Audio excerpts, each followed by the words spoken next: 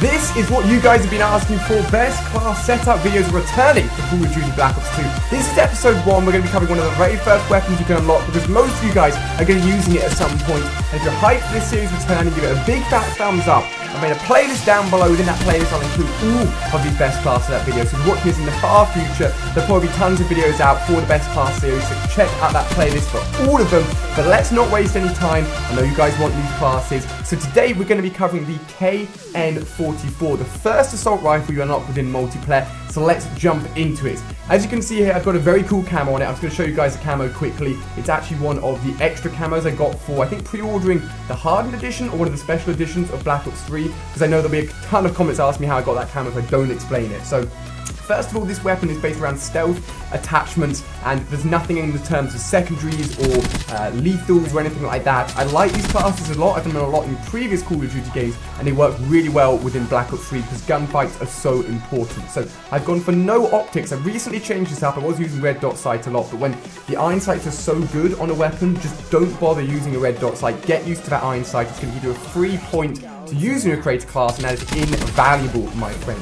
Attachments, we've gone for four in total. This meant we'd have to use two wild cards to get the third attachment, and then unlock the final two attachments, which will unlock the fifth and sixth one. We don't have any space, unfortunately, for the sixth one, but four in total. So First of all, Quick Draw. Quick Draw is extremely, extremely useful will allow you to aim down sights quicker. At this stage of the game where a lot of people are new players and don't necessarily have Quick Draw on, if you've got Quick Draw on your weapon, having that advantage in the gunfight can save you so many times. Do not leave it out of your class. It is so, so useful. Next up, we've gone for the Suppressor. Now, the Suppressor I've gone for because I wanted the Stealth class. Obviously, when a new game comes out, if you're quiet on the radar, you can survive for a long time because most people are running around the map trying to shoot everyone they see on their mini-map. If you're not appearing on that mini-map, you're a little bit of a ninja, you know what I mean? So the Suppressor is a big addition to this setup, and um, it will make the gun a little bit weaker at longer ranges, but trust me, it's worth it, and it means you can be invisible using this weapon and it's very, very useful. So next up we have gone for, uh, over here, Fast Mags. Fast Mags A, can I say, look absolutely awesome on the actual weapon here. That, like, it looks so cool when you put two onto each other and being able to customize this weapon and all the attachments change its looks makes it look awesome as well. Fast Mags just means you're going to be reloading quicker and since I play a lot of free-for-all, it means that if I'm shooting someone, shooting another person, suddenly find myself with low ammo, it doesn't matter. If I just hit that reload button, I'm going to be reloading super quick, getting my ammunition straight back into that gun, and I can get straight back into another gunfight without having to reload or waste too much time uh, worrying about finding a corner to get, get a safe place to reload or anything like that. So it just means you're red, ready, agile, and just ready for any enemy that's going to come at you, so you're quicker in gunfights. Next up, we've also got stock. Now, stock does not do a lot within Call of Duty Black Ops 3. It's been nerfed a lot from previous Call of Duty games for the assault rifles,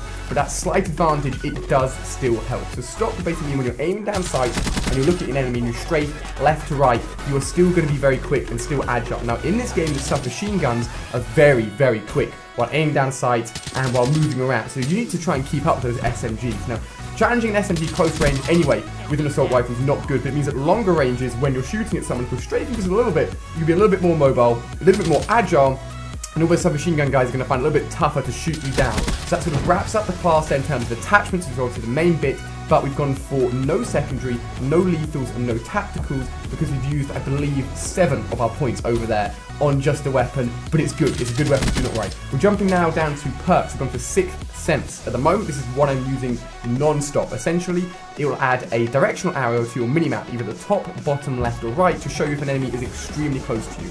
Now, in most situations, if an enemy is that close that they're appearing on your Sixth Sense minimap, um, like, they're probably next to you, right? But it works really well if an enemy is below you or above you on the floor because it will start flashing and obviously there'll be no one around you. Be like, ah, they're, they're down below or ah, they're upstairs. So it's really, really useful for that and great for locating enemies. And I use it all the time. It's just very useful. It also works well if someone is sitting in a corner and you rush past them and you see your little sixth sense blink off, you spin around and be like, bam, I know he's there. So that works really well too.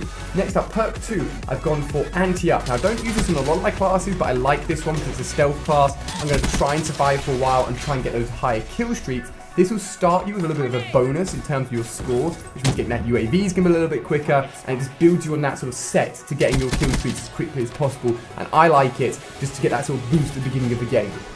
Finally, I've gone for awareness. Now, at the moment, playing a lot of free fall with enemies all around me. Of course, I use a really good headset. This is my little um, Turtle Beach uh, headset right here. I think it's called the 500Xs or the 800Xs. Actually, boom. This is the box right here. The 800Xs. They're absolute machines. They're, they're such good headsets. And partnering that with awareness means that you can actually hear a lot of footsteps. And even just reloads or silenced weapons, you can hear them. Not necessarily see them on the mini map, but hear them. I've also changed my audio settings a little bit, so I may do a video on that, explaining my headset, explaining the audio settings, but it means I can hear a lot of in-game sound. Now, you're probably wondering about kill streaks. Kill streaks obviously aren't a key part of the best class setup videos, but I like to know, I like to share with you guys what I'm using at the moment. Now, I haven't gotten to max rank yet, still ranking up, getting towards that first prestige, getting close, getting close, but I'm rocking UAV, counter UAV, and Wraith. Wraith is an absolute beast, it's a stealth chopper machine, it'll just go to town. UAV, obviously, you want to locate those enemies as quickly as you can. Counter UAV is arguably not needed if you've already got a silenced weapon, but I like to screw the enemy and just get their minimap completely offline, so they have no idea what they're doing, and it just means they're a little bit more cautious, a little bit more wary, and you can catch them off guard that much easier. So guys, that has been our first best class setup video for Call of Duty Black Ops 3, covering the KN44. Again, smash that thumbs up button if you're excited for the series return. Leave a comment down below, let me know which weapon you'd like me to cover next. I've got tons more videos here on the channel as well, so make sure you subscribe, check out that playlist for more. You guys have been awesome, tons more Black Ops 3 videos to come your way, guys, and I'll see you guys soon.